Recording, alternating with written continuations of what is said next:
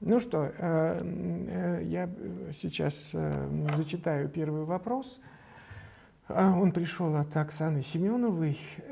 Вопрос звучит следующим образом. Почему мозг блокирует все мое хорошее, все мои достижения и победы и выдает сплошной негатив? Для принятия определенных решений нужна уверенность в себе, какая-то опора, но я боюсь принимать решения, и все мои прошлые успехи я обесцениваю, мол, фигня какая-то взять ипотеку в 22, я даже не думала, что мне это будет тяжело, что будет сложно, но я рассчитывала только на себя, и хотя не было помощи, я смогла. Э, сделала это и была счастлива. Да, это были для меня непростые времена, но я гордилась собой. Сейчас в 35 сплошные страхи, никакого внутреннего позитива. Э, э, на третьем месяце беременности убежала в буквальном смысле от абьюзера – побежала в полицию, так как испугалась за свою жизнь. Сначала была уверена, что многие терпят, и ты потерпи, вот, э, что будет у ребенка полная семья, но в какой-то момент я не выдержала и решила, что буду одна, но жить буду спокойно. И перед предстоящими родами утонула в страхах, самоедстве, самобичевании и полном обесценивании себя. Не понимаю, почему мой мозг выдает негативные установки. Ну что, э, Оксана задала такой целый объемный вопрос, потому что она э, достаточно подробно рассказала о том, э, что в ее жизни происходило на протяжении ну, практически двух десятилетий и сравнивает свои прежние достижения успешного человека с нынешним состоянием. Значит, ну, прежде всего, это то, о чем я вам говорил самого начала, это то, что наша жизнь неизбежно будет э, сталкивать нас с какими-то жизненными обстоятельствами, которые потребуют э, нашей внутренней перестройки, адаптации, принятия на себя дополнительных каких-то э, нагрузок, функционала и так далее. И справиться с этим далеко не всегда легко. И э, на этом фоне могут происходить самые разнообразные срывы, которые приводят к формированию э, такого депрессивного состояния. Ну, судя по всему, у Оксаны такое тревожно-депрессивное состояние возникло э, значит, в ситуации, при котором э, брак э, основывался на э, таких травмирующих э, отношениях. Э, Оксана называет своего бывшего мужа абьюзером.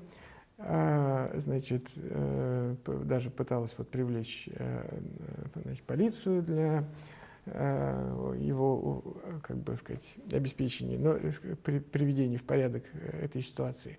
Но вот что важно, значит,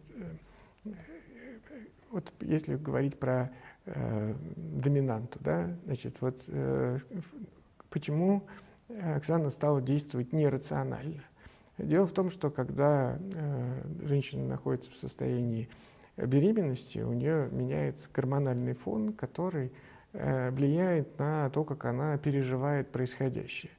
И если в привычном состоянии э, как бы ей эта жизнь, видимо, казалась э, какой-то более э, приемлемой, э, то потом на фоне этого гормонального состояния Э, другие доминанты стали брать верх, и она стала, по сути дела, активно защищаться. Сработал такой превентивный материнский инстинкт, который выбил, к сожалению, Оксану из ее привычной жизни. Именно поэтому, то, что она все поменяла на фоне вот этого своего психологического состояния, без того тревожно-депрессивного, вот, она оказалась в состоянии, когда э, страхи стали один за другим появляться. Это то, что я вам рассказывал, когда человек существенно меняет свою жизнь, его мозгу нужно произвести перестройку э, очень серьезную, э, внутреннюю, э, расшить прежние нейронные связи, сформировать новые нейронные связи. Но нам это сложно, мы испытываем чувство тревоги, мы испытываем чувство беспокойства и можем э, присоединить эту тревогу и беспокойство, связанное с измененными жизненными обстоятельствами, э, каким-то конкретным страхом, которые у Оксаны возникли. Да? Ну и все еще это отягощалось как раз вот тем, что э, знаете, когда вы э, в одном находитесь состоянии гормональном, это не обязательно касается женских гормонов, это касается кортизола, адреналина там, и так далее. значит, вы одни и те же события будете оценивать иначе. Вот.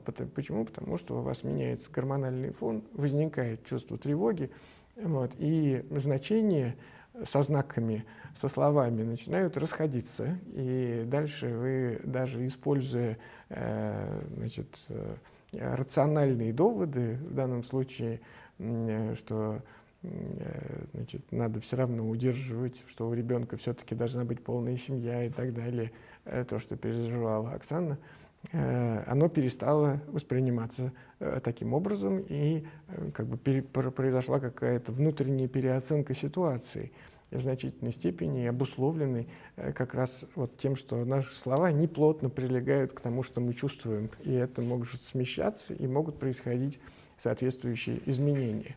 Вот. Ну и плюс сейчас сформировался новый стереотип, стереотип депрессивный. Э, думать депрессивно, реагировать депрессивно. То, что э, у нас Оксана называет вот этим негативным настроем, э, на самом деле говорит о том, что у нее сформировалась так называемая депрессивная доминанта, вот, которая значит, берет верх над ее личностью, над ее представлением о том, кто она на самом деле, потому что раньше Оксана считала себя человеком уверенным, сильным, способным решить самые разные, очень сложные задачи. Вот. Но сейчас э, депрессивная доминанта, а она характеризуется тремя составляющими. Это мысли о том, что э, все плохо, мысли о том, что будущее ужасно, и самоуничижающие мысли, да, что я недостаточно хорош, что я не смогу справиться, что я слабый, что я неудачник там, и так далее. Вот, вот эти все мысли взяли вверх и победили э, э, значит, э, такую здоровую, оптимистичную доминанту, которая формировалась у Оксаны до тех стрессовых факторов и переживаний, которые, с которыми она столкнулась в рамках этих абьюзивных отношений и значит, беременности и последующих в общем, каких-то не самых приятных событий, которые к этому привели ее к нынешнему состоянию. Значит, ну, если говорить про то, что в таких случаях делать, э, депрессивная доминанта просто так не побеждается. Для того, чтобы справиться с депрессивной доминантой, для этого э, нужна э, полноценная психотерапия. Но Оксана могла бы не попасть в эту ситуацию, если бы она понимала, что с ней происходит и как работают эти психические механизмы. Но сейчас уже у нас есть победившая доминанта. Более того, у нас есть динамические стереотипы мысли, в рамках которых Оксана оценивает себя как человека э, там, неуспешного, слабого, сломленного, несчастного там, и так далее. Вот. И эти мысли у нее автоматически прокручиваются в голове, потому что возникла уже привычка так думать. Да? Вот. И э, вроде бы человек один и тот же, а тут его оценивали, э, сама себя оценивала как большой молодец, а тут вдруг стала оценивать себя негативно. Да? Это вот как раз из-за того, что наши слова, к сожалению, не намертво прибиты к тому, что мы чувствуем, и мы можем себя называть то так, то сяк, в зависимости от обстоятельств, то мы называем себя неудачниками, то везунчиками и так далее. А на самом деле в основе сейчас лежит депрессивная доминанта, которая, собственно говоря, и заправляет бал. А, значит, вот что важно понимать, э, ну, прежде всего, Оксане, да, ну, то, что она нуждается в помощи, то, что нужно лечить депрессивное состояние, тревожное, возможно, депрессивное состояние, которое у нее возникло.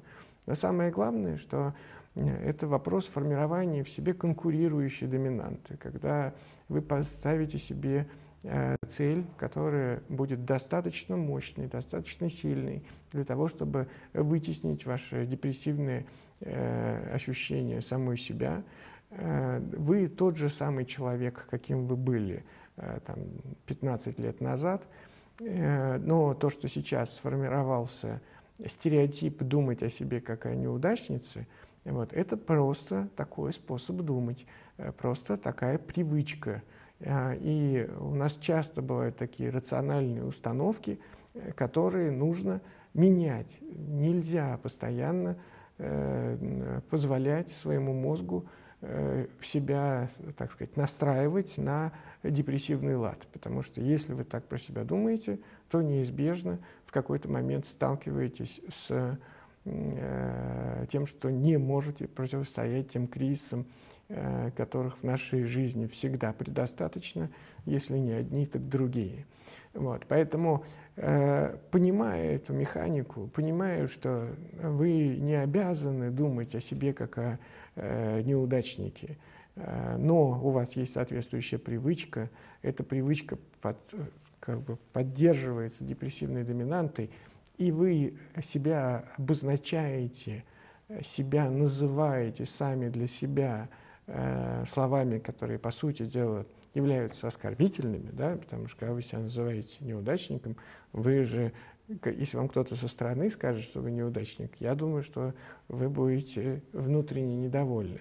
Но внутри самих себя вы можете говорить, что вы там и не можете справиться, и что ничего у вас не получится, и так далее, и так далее, и так далее. Почему? Потому что вы не думаете, что это ваши мысли. На самом деле зачастую так просто думает мозг, который оказался в ситуации такого нервно-психического стресса с последующим срывом и формированием таких дезадаптивных, э, разрушающих вас э, внутренних установок. Но эти установки, опять-таки, только привычки. Да, менять привычки непросто. Да, именно поэтому я говорю, что нужна помощь, нужна поддержка специалистов, которые помогут. Но это э, очень важный такой э, э, выбор, да, когда мы выбираем для себя э, э жизнь где э, не мозг играет с нами в наши игры, а мы в свои игры, а мы знаем, как он работает и понимаем, на какие законы нашего мозга, на какие педали, так сказать, давить в этой машине для того, чтобы она ехала в том направлении, в котором нужно.